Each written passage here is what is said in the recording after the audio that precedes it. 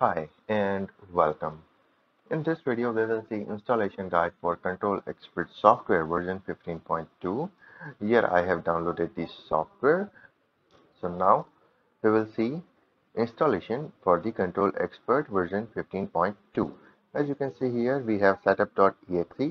So we will double click on setup.exe to start the installation okay now we have to choose the language. So in my case my language will be English. So I'll press OK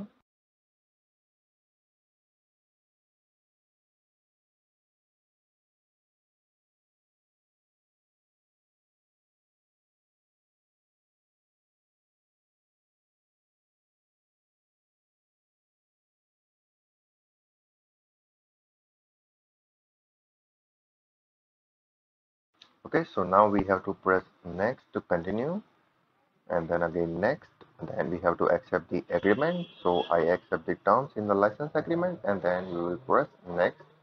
After that destination folder if you want to change the destination folder or installation path then you can change by clicking on this change button. Otherwise leave it as it is and then press next and then uh, select your installation type. In our case our installation type will be complete so we will just press next.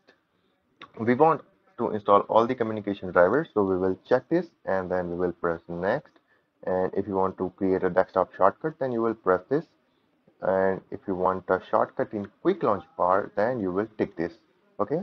So we will leave it as it is and then we will press next. And we will press install to start the installation of control expert version 15.2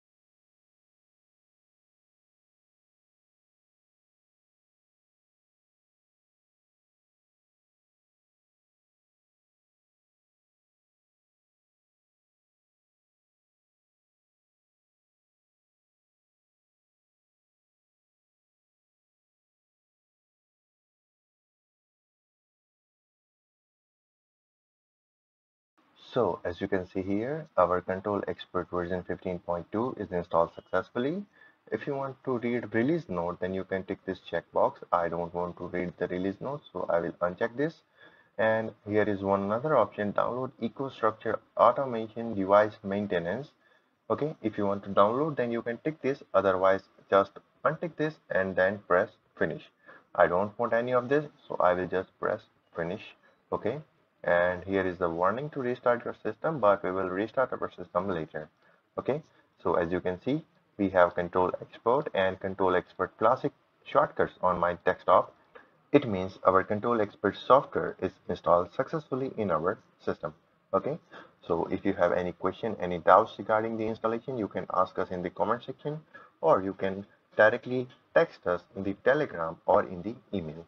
Okay, we will see you in the next video. Till then, take care, goodbye, and thank you.